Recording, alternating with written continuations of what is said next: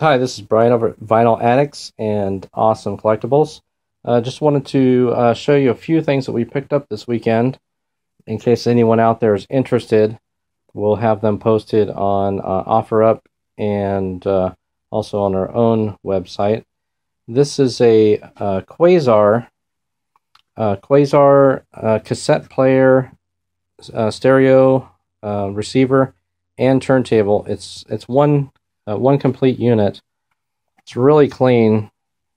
It came from a, um, an estate sale, and this is a the model on this one is a a, a CS 7400 Quasar.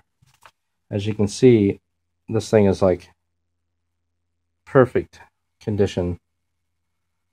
It's so so clean, and I'll turn some uh, turn some of the power on here in a second. Uh, or the power on. Here's the uh, tape tape player or cassette player and the uh, the receiver. All the knobs, everything works perfectly. I think it may need a, a new belt. Uh, the turntable turns, but it's turning slower than what it should. Uh, so I'm kind of thinking the belt is probably stretched, so it probably needs a new belt at some point. Uh, the belt, the uh, belts on these can be replaced fairly easily. There's two screws. There's a screw here and a screw here. You take those two screws out. The turntable lifts up out of there, and then you can replace the belt underneath. Um, if I keep it for any length of time, I'll probably do it myself. But uh, if I can sell it, then I'll just go ahead and sell it, and somebody can replace the belt. Uh, but I'll play a record and I'll let you listen to it. And these are the uh, the speakers that come with it. These are the factory speakers that have a tweeter level on both speakers. Uh, underneath is just the ca cabinet space. Let me move these speakers out of the way. So underneath is just cabinet space. So you got two, uh, uh, you know, two shelves, the bottom shelf and then uh, the second second shelf above there. And the back, we have an auxiliary hookup. There's the uh, external antenna. And I do have an FM antenna that's hanging at the bottom there. And there's uh, speakers. There's an A and B channel for the speakers. Right now I just have two connected to the to the A channel. So we'll come back to the record player uh, or the, the audio system here. We'll come back to that in just a second. Here's the and all the instruction manuals here, both for the the uh, the audio system and the turntable. It comes with a separate manual. It may have information about the belt. Let's see. It has information. Oh, it does show that you can take the turntable, or you can stack the LPs. This is this has a stackable LP uh, the shaft on there. So let's go. Let's go take a look.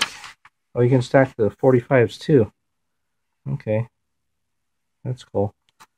I didn't see that part. Okay, let me go ahead and show you some of the other stuff that we picked up.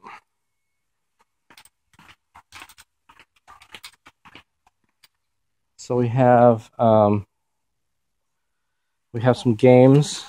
We have the Simpson game, the uh, chess set, a various assortment of Monopoly games.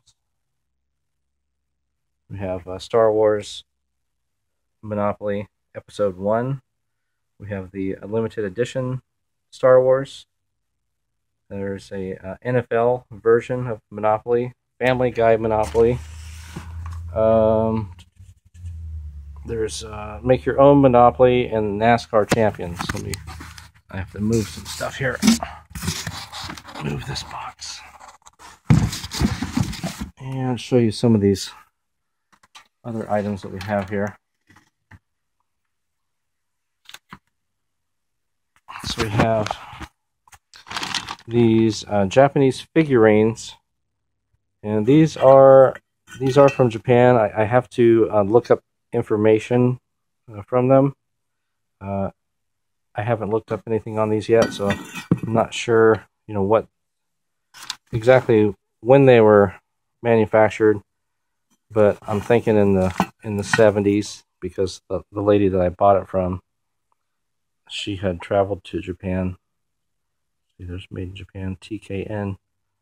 But everything's really, really super good condition. And I picked up this this cool tea set, strawberry theme tea set. No cracks, no uh, no wear and tear. I think they used it more for decoration. This is called strawberry strawberry patch fine porcelain by Sheaford. So I'll have to look that up as well. I don't know uh, how popular those are. And a couple other miscellaneous plates here with uh, these two are from England. And we also have picked up some still factory sealed factory sealed Godfather 1, 2, and 3. This is Godfather 1 by itself. Those are all factory sealed. And then we have a, a box of unopened McDonald's and Burger King and some other various toys. They're mostly from the 80s and 90s, it looks like. I'm going to put this other piece back into the cassette player. I cleaned it off earlier. So those are some things that we bought. Uh, oh, there's a couple things over here. I have them sitting over over here. But these, um, some 25th anniversary, uh, 21st anniversary plate. Um, let me see. If I can find the that's a plastic plastic stand for the plate. This is Melvin China. I have to look this up. I, I really don't know anything about this. I just thought it was pretty cool, pretty nice. And we have these, uh, there's some pictures here and there's another plate. This is uh, from France. It looks like some kind of a tea teacup. Teacup. Unfortunately, just one. I don't know if that's just the way it was, or it came in a set or not. And then I was told by the lady that I bought these from, and it seems to be fairly true because I looked up a little bit information while I was there. These are made on. These are from South America, and I have to find out exactly what country. But these are these were painted on cigarette paper. And they were painted with feathers, is from what I understand. Um, and there's two of them here. This one and there's one underneath there. So I have to go through go through these items and see, uh, you know, see what the what the value is. Of course, I typically don't sell things. If I find something on eBay for forty dollars, I'll probably end up selling it for 20. I may list it for 40, but I would accept somebody's offer uh, for 20 or 30 dollars. Uh, you know, because I, I just can't hold on to things forever. And we're in the business of selling.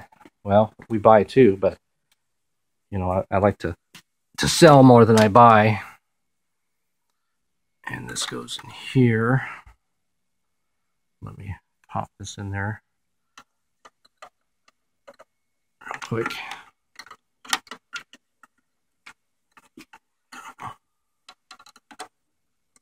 Okay, let's see how it goes. Let me set my phone down here for a second. Guys can look at the beautiful turntable and that awesome stylus. Just pop this in there.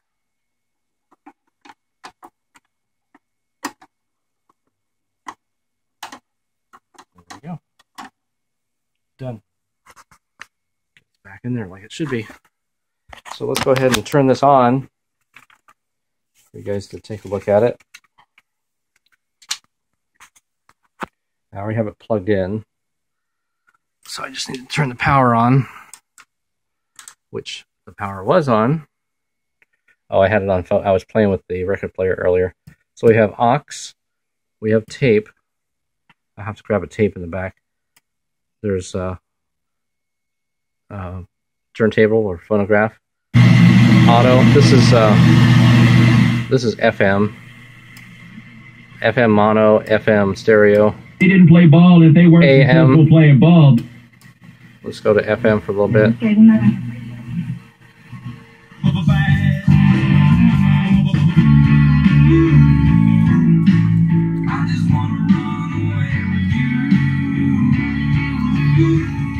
Turn the volume up a little bit. I just wanna run away with you.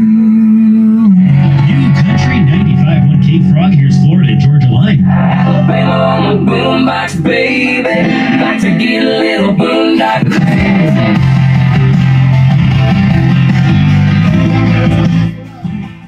So that sounds great.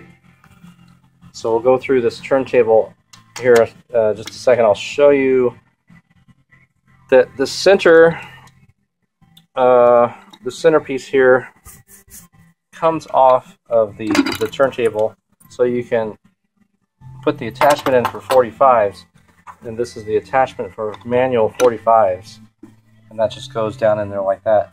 I'm really surprised that this thing was still around because there's there's really no place that this uh, 45 adapter goes. Usually there's like a little place where you stick it in there and kind of hold it there, but there's no place that this little 45 adapter goes. So I'm surprised that it's stuck around for this many years.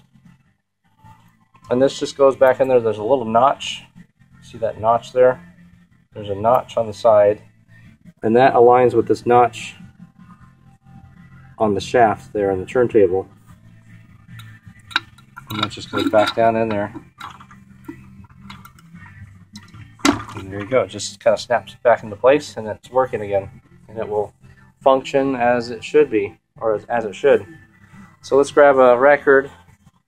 I was going to use that one, but that one is not in the greatest condition. So let me get a record that is in better, better shape. This one. Let's take this one that I was playing yesterday, Aerosmith.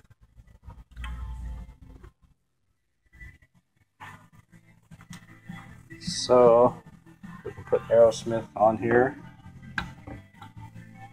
And you can stack LPs on this one. Uh, there is no attachment to stack the 45s, but there is an attachment to stack the LPs. I think you can probably get one of those general uh, 45 stackers, and it may work on here. I'm not I'm not positive about that. So it's on. As you can see, the turntable is spinning. Let me turn it to phonograph on the control knob there. And I'll set it to auto. Let me unlock this arm. This is a really nice arm. I don't know if that's aluminum or some type of a just an alloy. So let me set it to auto. Check outside here for a second. Not sound like somebody was at the door.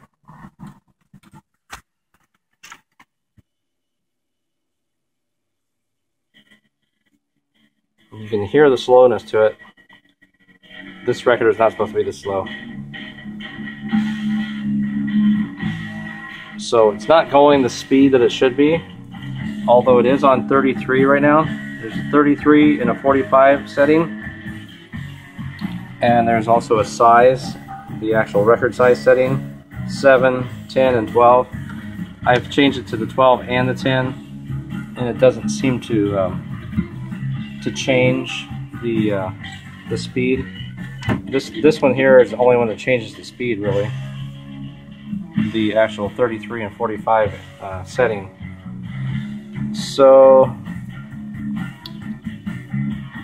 the the cue the cue arm does work.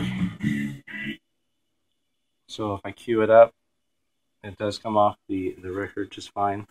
So I think the belt is slipping myself. I think that's what's going on because that record definitely is is much quicker than faster than that. That that's pretty slow. the RPMs are just not getting up to where they should be on that uh, that turntable. If you listen to it on my stereo, you will see the difference after I change it to from the tuner. I was listening to the radio earlier.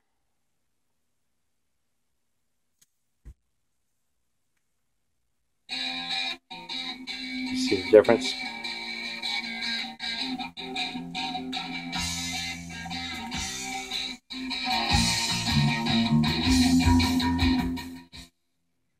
But it's a great, this is a very clean system.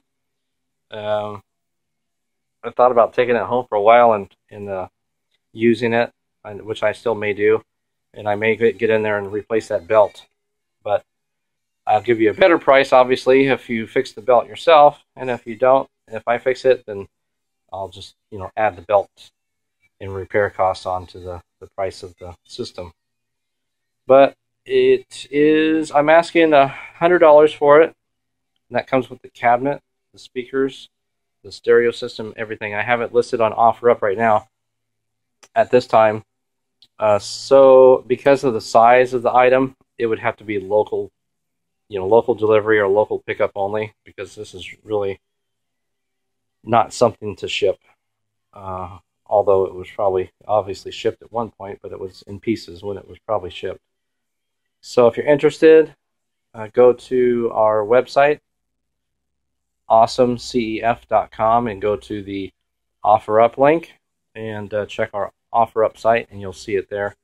If you need additional photos or other information related to this item or other items that you may have seen on this video or other videos, just contact us on the website.